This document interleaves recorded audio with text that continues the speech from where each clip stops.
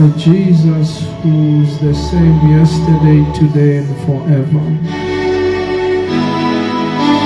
As a deer panteth after the water, our souls thirsteth for thee.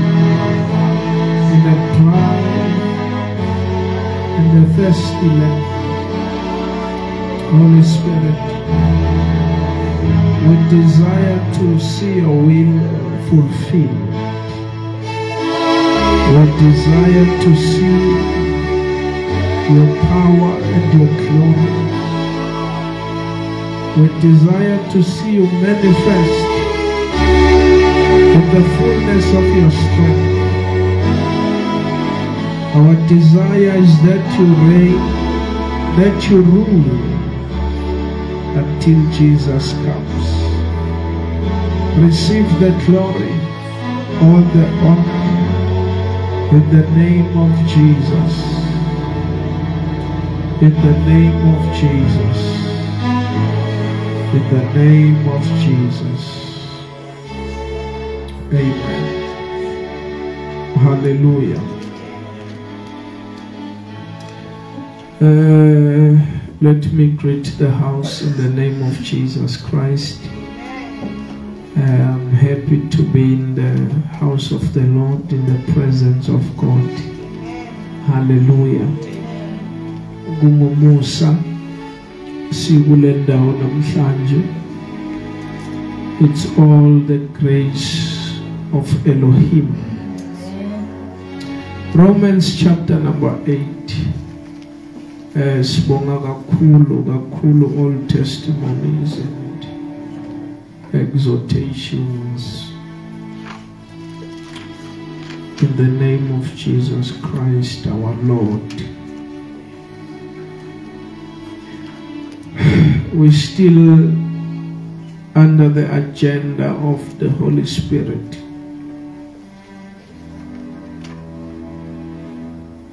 We want to see the will of the Spirit of God prevail.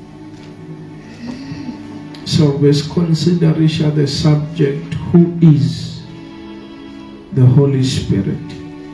Who's this personality? Who's the Holy Spirit? And we looked at a few definitions about the Holy Spirit, which is the first person or is the third person in the Holy Trinity, is a Father to Jesus and mankind, is the comforter, the teacher, reminder, is a caster of devils is a dweller. He dwells inside the believers. Is the lifter of men and the standard. He is the one who causes us to progress and succeed. He is the liberator, the one who sets free. He is a revealer and searcher of divine secrets and mysteries. Then we ended where we say is the giver of utterance. Let's consider the last two today, number 11 and 12, and then we pray. Holy Spirit is a leader and the overseer of the church. That's number 11. He's the leader and is the overseer of the church. Bandla lionwa unkulunkulu. People are bought by the blood of Jesus Christ. There is no human being who has shares in the church of Jesus Christ. There is no apostle, prophet, pastor, teacher, evangelist who has shares the church of Jesus Christ. It was bought by the blood of Jesus. So no man owns the church. A church is older than any man it will always outlive any person. A church is owned by Jesus Christ. Hence, it's called the Church of Jesus Christ. Ministries are only subordinates under the main church. The body is one. There are no two bodies of Jesus Christ. It's only one body of Jesus Christ. And the whole aim of the Holy Spirit is so that eventually the church becomes one. Eventually, the church becomes one. That is the whole aim of the heavens. But it will take maturity for the church to become one. siyabuya ku-romans 8 ne? ephesians chapter number 4 from verse 11 ephesians 4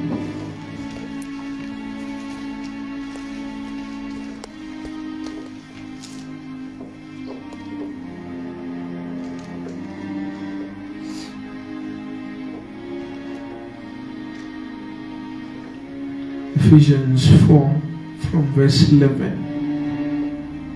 We can read. Yeah. Ephesians 4, verse 11. Yes. So Christ himself gave the apostles, Christ Himself. Christ Himself. He doesn't delegate someone here. Christ Himself. Yeah? Gave the apostles, the prophets, the evangelists, the pastors, and the teachers. So He's the one that gives all these offices apostles, prophets, Christ Himself. Now, if Christ does this in His wisdom, no one should eliminate the office that Christ Himself ordained. Uh, no one has more authority to eliminate what Christ has given. So Christ Himself gives these five offices or these five gifts. Yeah? To equip his people for the work. There is a reason. It's not for competition amongst the people. Those say our apostles are greater than pastors, pastors are greater than evangelists. No. There is a purpose for the offices. And he says to equip the saints, to equip, to build, to capacitate the saints. So the reason for the offices or for the fivefold so that the children of God are capacitated. They are built. They are equipped. The work of an apostle is to equip through his own giftings and stream of the spirit. The work of the prophet is to equip through his own giftings and stream of the spirit. The work of the evangelist, the pastor, the teacher, all of them are coming to one purpose. Though they may do it differently, but the purpose is one. The gifts are different, but they all must accomplish one purpose. And that is to equip the saints. Now, why must the saints be equipped? Yeah? To equip his people for the works of service, For the work of service, yes. so that the body of Christ may be built up. So it's not talking about churches, it's talking about the body. All the churches are part of the body. Hence, he will not uh, water it down because there are so many names of so many different churches. But he speaks about one solid thing called the body. So that, hey, Gosia, come again. To equip his people for the works of service, so that the body of Christ may be built up. So that the body of Jesus Christ must be built up. So Jesus wants his body to be built. And if a body is going to be built, every part of the body has to develop. The hands must develop. The feet must develop. The ears must develop. The eyes must develop. Every part of the body has to be built. At the same time, it must all happen in synchrony. So this is why God gives gifts. This is why he appoints men. He calls them into the fivefold so that the body of Christ is built up. And why should the body be built up? Until we all reach unity in, in the faith Until we all reach unity in the faith. Yabona learn this chela one thing. It means that without being built, we will never be united. It takes maturity for people to be united. People can never be united until they are built up. So the, the ultimate purpose of God in the faith is so that the body unites. It comes to one union as the body of Jesus Christ. Uh, yeah. Until we all reach unity in the faith and in the knowledge of the Son of God and become mature, attaining, attaining to the whole measure of the fullness of Christ. And become mature, you see. So there, there can never be a unity, a union, if the people are not built, if the people don't mature. So God has the body of Christ in South Africa on a scale. The Bible says in the book of Corinthians, the God who weigheth the spirits. So the spirits of men have a weight. There's a weight of the spirit. And as a person matures in the things of God, the weight of the spirit increases. The person begins to weigh more on the scale of the spirit. So it is the Spirit of God that the Lord is using or that is working with the Godhead to develop and to build the church of Jesus Christ. Until the church comes to union, the body of Christ comes to maturity, until we all attain a stature of Christ. Romans chapter number 8 uhlezi verse number 14 so this is the work of the holy spirit. The holy spirit is working in our lives to build us up to build us up.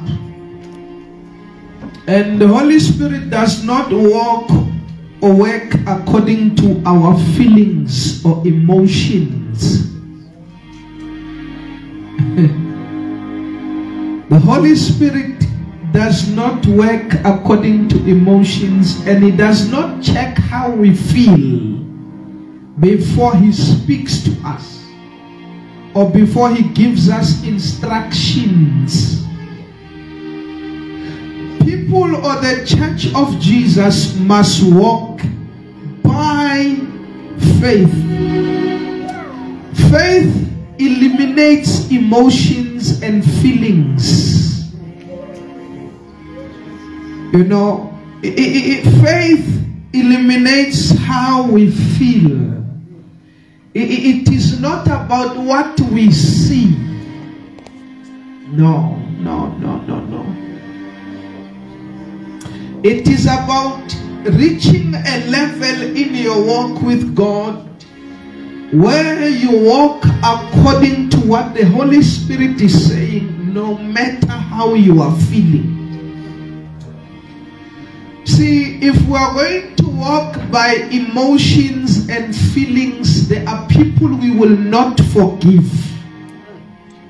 Because Oma, we are going to listen to how we are feeling and the pain in our hearts. Before we forgive, we will not forgive.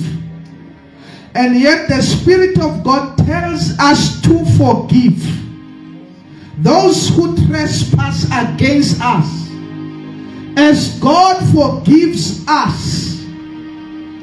And Jesus became the perfect example on the cross he was still bleeding. And yet he said, Father, forgive them. He was still in pain. And yet he said, Father, forgive them. He was still bruised. And yet he said, Father, forgive them. So he became an example of the will of God. That in the will of God, we don't walk according to how we are feeling. But we walk according to the expectation of the Lord. Romans 8, verse number 14.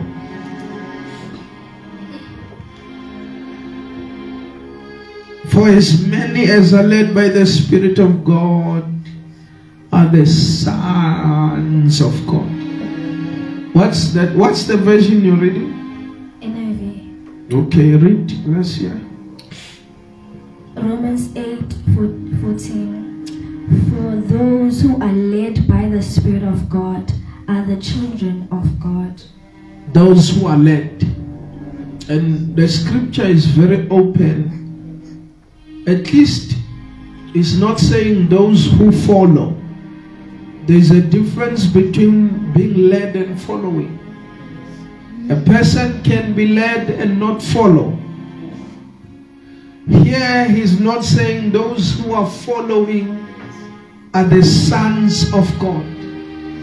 Saying that those who have the privilege to be led by the Holy Spirit, those who are fortunate enough to have promptings of the Spirit, to have whisperings of the Spirit in their heart. You know, when the Spirit of God speaks, He speaks to the heart of people. So, as many as are led by the Spirit of God, He says, These ones are the sons of God. The word sons here in Greek is the word huios. It's not the same word esetshenziswa John 1 verse 12 elithi iBhayibheli bonke abamamukelo wabapha amandla kuze babizwe amadodana kaNkulunkulu. It's not the same word. As many or all that received him to them he gave power to be called the sons of God. The word used in John 1:12 is the word teknon it means somebody who's born biologically by the person. So a person ozalwa biologically is a teknon, my biological son. So in John 1 verse 12, God is saying everyone, everyone who receives Jesus Christ as their Lord and Savior, those are my biological son. You become my biological child. You have the same DNA as me as long as you receive Jesus. Oh, hallelujah. so, as long as we receive Jesus Christ, we carry the same DNA as God. God is our Father. God is our Father. God is our Father. We have a Father who's sitting upon a throne that is high and lifted up. An eternal Father of lights who's the same yesterday, today, and forever. So the same DNA as God is inside of us when we receive Jesus Christ. When we receive Jesus Christ. But Paul is not using the same word here when he talks about sons. This word is the word huios. It means matured sons. Because my son can be six months old, he's not mature. My son can be two years old, he's a biological son, and yet he's not mature. My son can be 10 years old, he's not mature. The Bible here says those who are led by the Spirit are the matured sons of God. So you know the lava elithi iBhayibheli nature eagerly awaits. Uthi umhlaba uyabubula izihlahla inyoni amanzi ngaphansi kwamanzi iy'lwane iy'mbuzi ziyabubula they are waiting for the manifestation not of the teknon but of the heroes the matured sons of God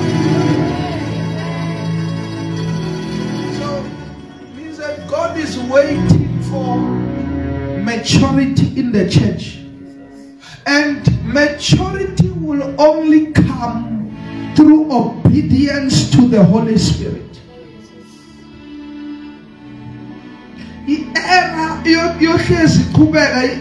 If the people of God are not maturing then i-era uSolomon akhuluma ngayo will continue he says, I saw an era under the sun. I saw servants riding on horses and chariots. And then I saw kings and princes walking on foot. Yamuzotin.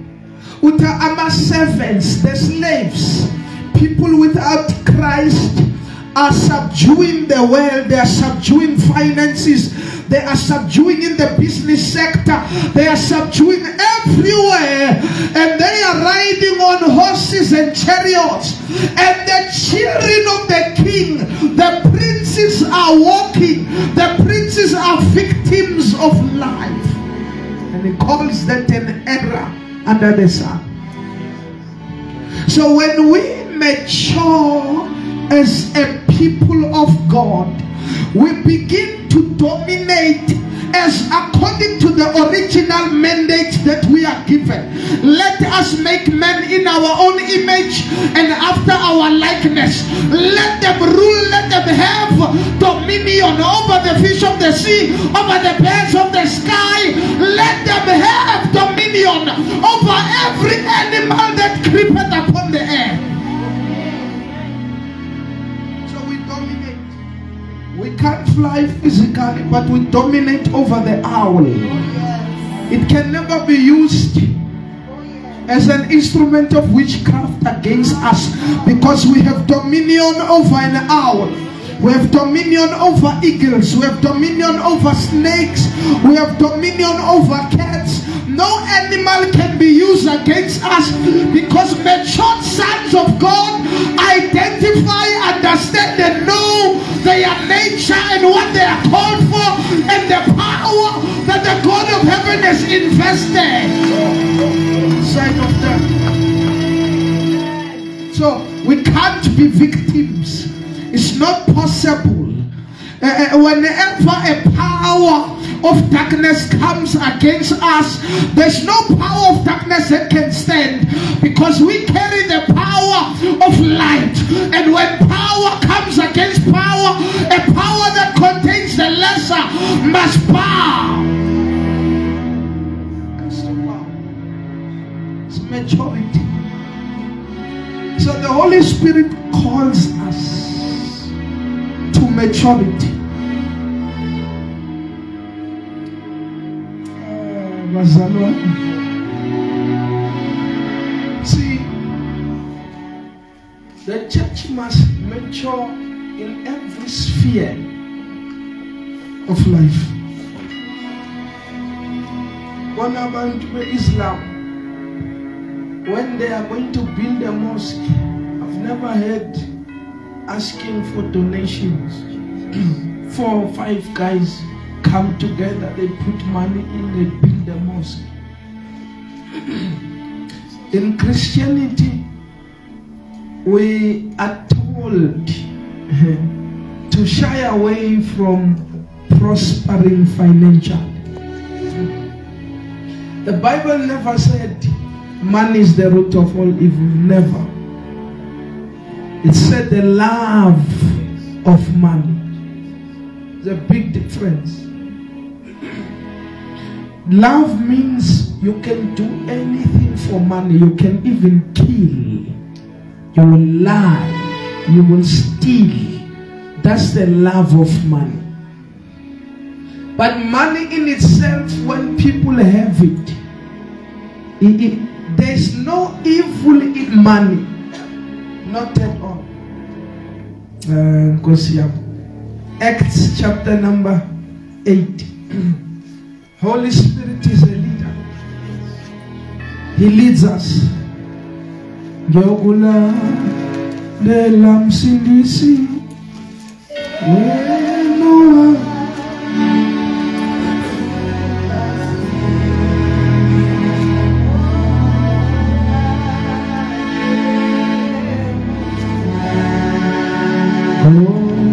Wa- Ngomsami izola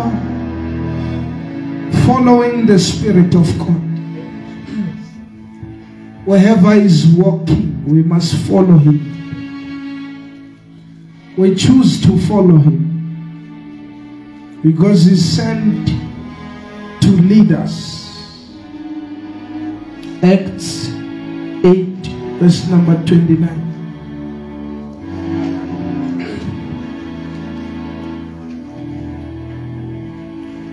Oh, Holy Ghost. The Yeah. Holy Spirit said to Philip, The Holy Spirit said Go, to Philip, yeah, go over and walk along beside the carriage. Philip ran over and heard the man reading from the prophet Isaiah. Philip asked, Do you understand what you are reading? The man replied, How can I unless someone instructs me? And he urged Philip to come up into the carriage and sit with him. The passage of scripture he had been reading was this See, thank you so much. Philip was a very great evangelist. He went to a city, and the scripture says he preached Christ to them. The Bible says in that city there was a man who bewitched the entire city. Targeted the whole city. of A lawyer. And the Bible they were saying this man has the great power of God because the people could not distinguish or differentiate between the power of God and the power of witchcraft. Like the same mistake people make today, they think the power of Sangomas is the power of God. No, no, no, no, no. There has to be a separation between the power of the Most High and the power of witches and wizards. So when when Philip came, the Bible says he preached Christ to the city. And the power of God transformed the life of even Simon. Simon, the one who was bewitching the whole entire city. That guy was serious, man. How can you bewitch the whole city? Find ukuthi umuntu phakatha iPretoria yonke, iArcadia, iSunnyside, uh, iCentral, athi West, athi North, uh, the entire city. That guy was serious in the powers of witchcraft. God, we bless God for the evangelist Philip. Because when a person preaches Christ to a people, the powers of witchcraft are broken. The powers get broken. The Bible says he saw the miracles that were done by God through the hand of this Philip. and uh, he, he- I, I like the fact that he saw this power. Another power yakhe. His mistake would now be ukuthi athi ngithengiseleni lamandla lawa wenu enwaphethe. And then the apostles answered him. Because after Philip and the city was transformed, apostles needed to come as the governments of the church. You are ukuthi The giftings were different here. The evangelist was the forerunner. He goes and he preaches Christ to the city. After he has preached Christ, he will inform the apostles and they hear of the works and the miracles God has done in the city. And the Bible says the apostles themselves now came down to the city so that they pray with the people and the Holy Spirit falls on the people. Because it's not enough for people to be saved and born again. After salvation, people must be baptized with the Holy Spirit. A person will never walk the walk of Christianity without the Holy Spirit. Is a need. It is compulsory that every believer is baptized with the Holy Ghost. Aye, aye, aye. It's a compulsory thing. If somebody is born again, they must hunger and thirst for the baptism of the Holy Spirit. But we have a dry church when we have a people without the Spirit. It's not enough to know the scriptures, the verses, and you have no Holy Spirit. You will become a Pharisee who is very far to see. Because the letter kills, the letter killeth. Pharisees know the scriptures very well. Genesis, Exodus, Leviticus, Numbers, Deuteronomy. They know it off by heart, but they don't have the spirit. The Bible says the letter kills, but the spirit gives life. What people will receive as life is the spirit of God. So without the Holy Spirit, we'll have a judgmental church, a church full of criticism. Because there's no spirit to give life. Letter kills, the spirit gives life. Bible says now here, apostles came, fast forward. Philip in the 29th verse, the Bible says, the Spirit said unto Philip. So the Spirit has a mouth. The Spirit speaks. He's the one who instructs. The Spirit said to Philip, Go near and join thyself to this chariot. So Philip went to preach to a man because the Spirit said. Acts 10, verse 19.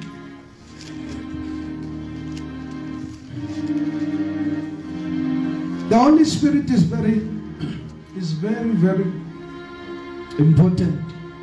He reminded me about Ubabu Bemo. Now I've listened to his tapes before he went home to glory. And he said something there in the church. He said, without the Holy Spirit, you guys will not be able to lead this church.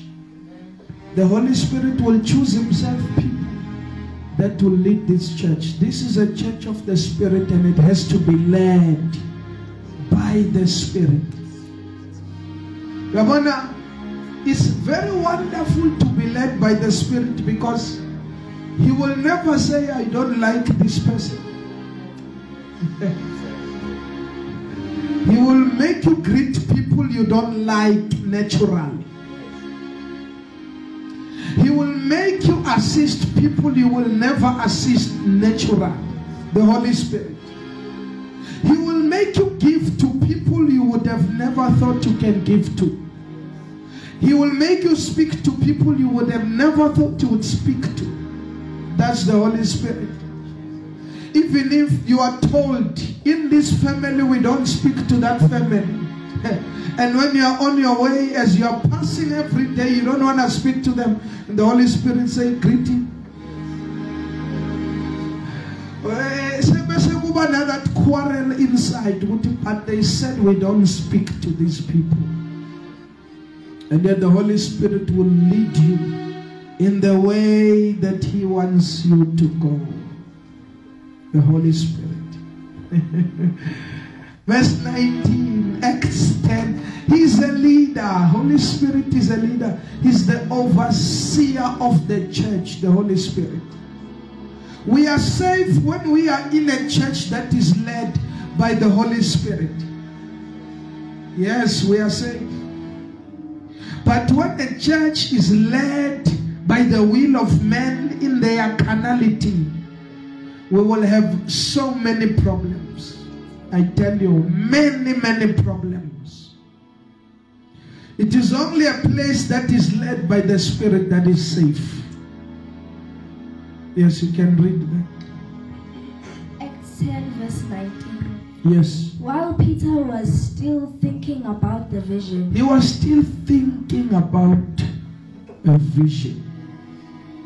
People of the Spirit get visions. yes, spiritual people see visions. And they spend time to think about that communication. What is God saying to me? What is God saying to me? While Peter thought of the vision, yeah, the Spirit said to him, Simon, three men are looking for you. the Spirit said to him, Simon gives him the number three men. It's not guesswork, it's prophecy. I know South Africa, we fight against the prophetic office. It's details. Hey, Nkosi yami. I think angeni lapho ne. Uyazi ukuthi ikaliber ye-prophet efana no-elijah he, he had a serious level of relationship and information coming from god and sorry and kwilevel yakhe he even caused the prophets of baal to be beheaded. Then jezebel came after him. Jezebel to kill Elijah the prophet. Because a spirit of Jezebel does not like a genuine prophet in a high dimension who's able to overcome the prophets of darkness. See, a sincere prophet or a mature prophet has the capacity to withstand and to conquer prophets of darkness. It is a spirit of Jezebel that kills prophets. Yes, a Jezebelic spirit is a spirit that kills prophets. See, let to a prophet, we need to investigate it as a people and as a nation.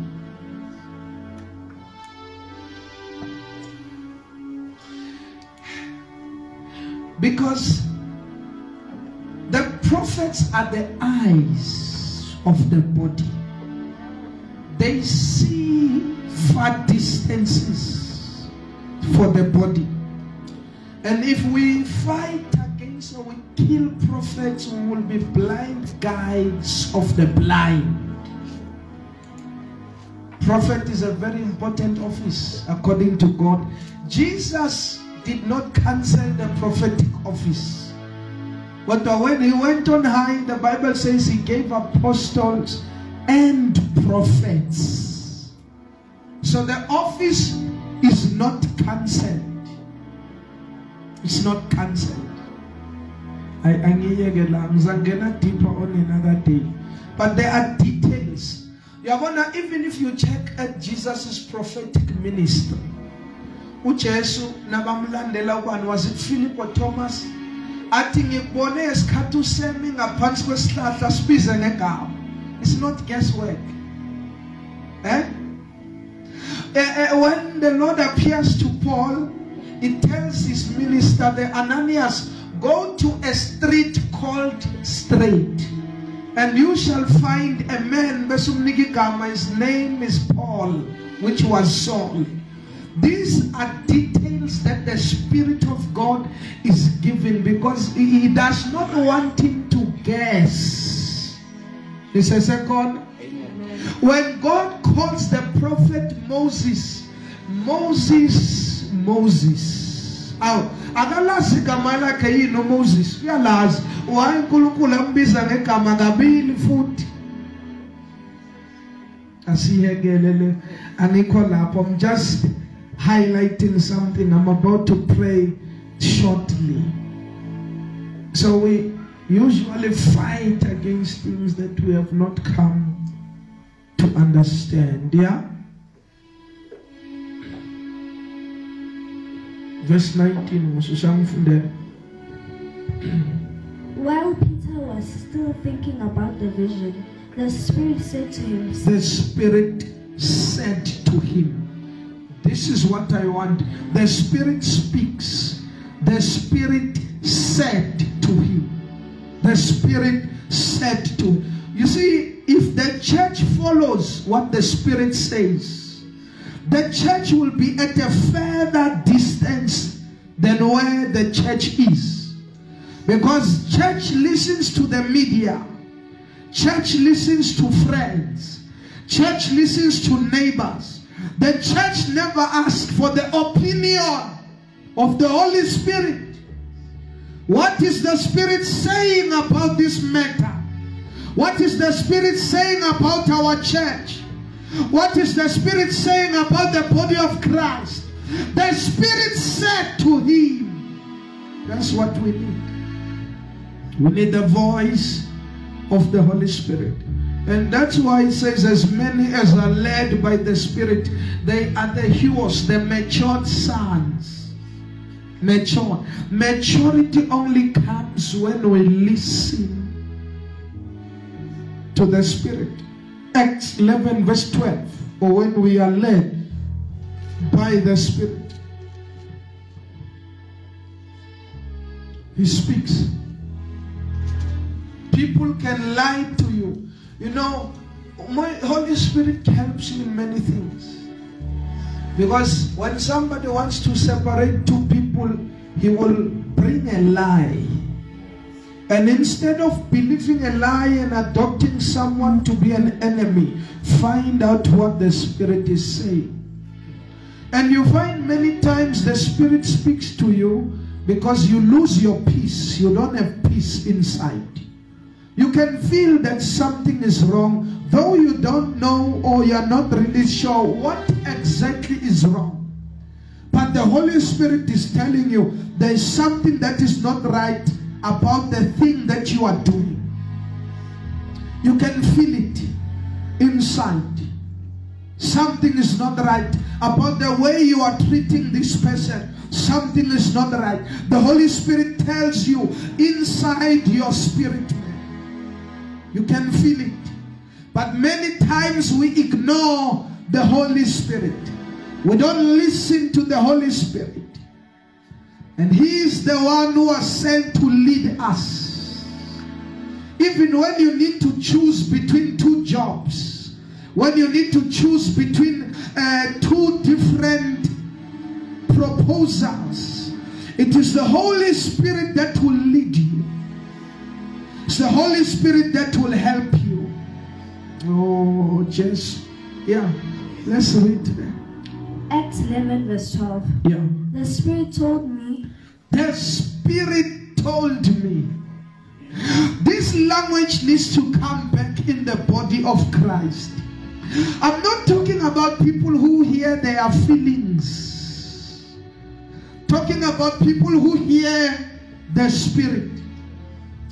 Yes, so many people leave churches and they say the Spirit told them to leave, and yet they leave because they are offended. They are not living because the Spirit said. There are so many decisions people make and they fake it being the Spirit. And yet it wasn't the Holy Spirit. But there needs to come a time, or this is a time that has come again where the people of God need to go back to listening to the Holy Spirit. And the Bible says, The Spirit said to me, Yeah, The Spirit told me to have no hesitation about going with them. yeah, These six, these six brothers also went with me, and we entered the man's house. See, He's able to give you comfort and also discomfort when you are going with people you are not supposed to go with.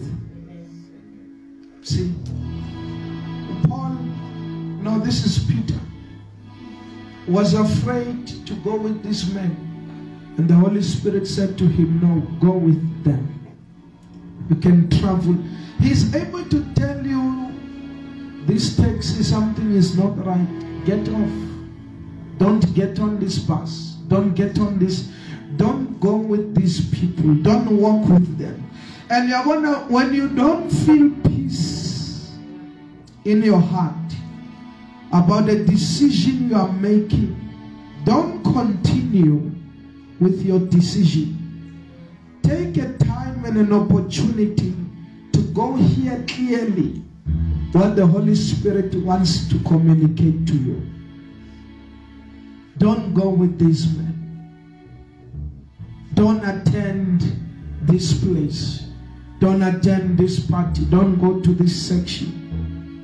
He is able to tell you, Peter, go with these men. 16 verse 7 Acts. Go with these men. Then we will be saved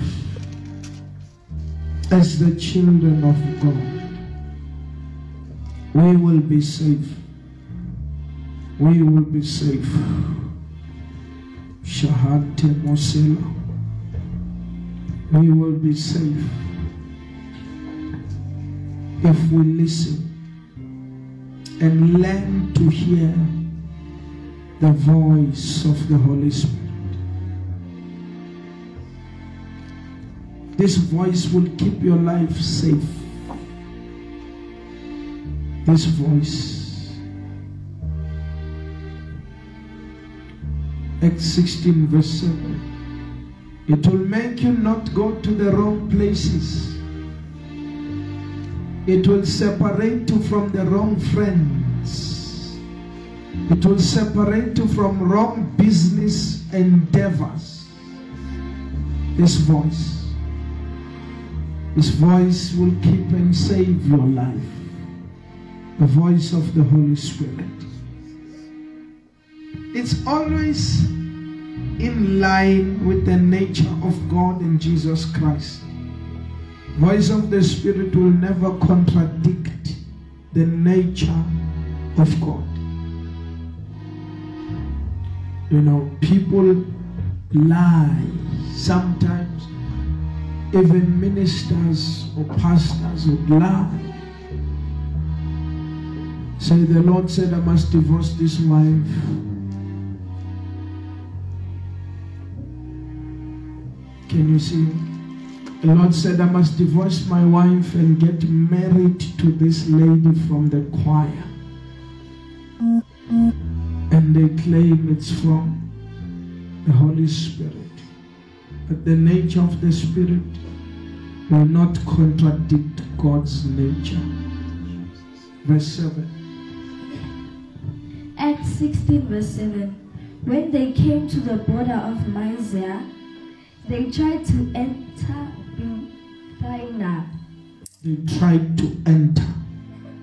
They tried to enter.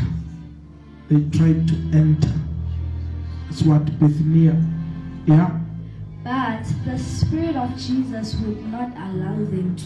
But the Spirit of Jesus will not allow them to. he never permitted them. So we must never jump what the Spirit is permitting us and not permitting us to do. As Valela, number 12, the Holy Spirit is a helper.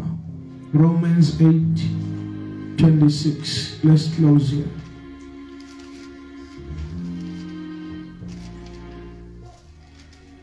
The Holy Spirit is here to help us. In the same way, the Spirit helps us in our weaknesses. The Spirit helps us in our weaknesses. We, Holy Spirit is there to help us in our weaknesses. Yeah? we do not know what we ought to pray for, but the Spirit Himself intercedes for us through wordless groans. As Valena. The Holy Spirit is a helper. Is here to help us in our weaknesses. So he becomes a supporting structure to our weakness. Where we are weak, the Spirit will strengthen us. The Holy Ghost is going to strengthen us. The Bible says we know not what to pray for as we ought. So what He gives us the correct and accurate things to pray for. The Holy Spirit is here to help us, is here to strengthen us. We are not helpless. To strengthen us in our weaknesses, to help us in our weaknesses. Wherever we are insufficient and weak, the Holy Spirit is there to help us. Let's rise to our feet. We have a helper, which is the sweet Holy Spirit, the Spirit without measure, the Spirit without measure, a Spirit without measure. Holy Spirit is there to help us. He's there to speak to us. He's there to direct us. He's there to show us the way to progress. He's there to show us the way to rise. The Holy Spirit is there for us. Whenever people are far and we are left alone, the Spirit is right there. Where people are not, where nobody is, the Spirit is there. Let's lift our voices and pray. Let's lift our voices and pray the next five minutes.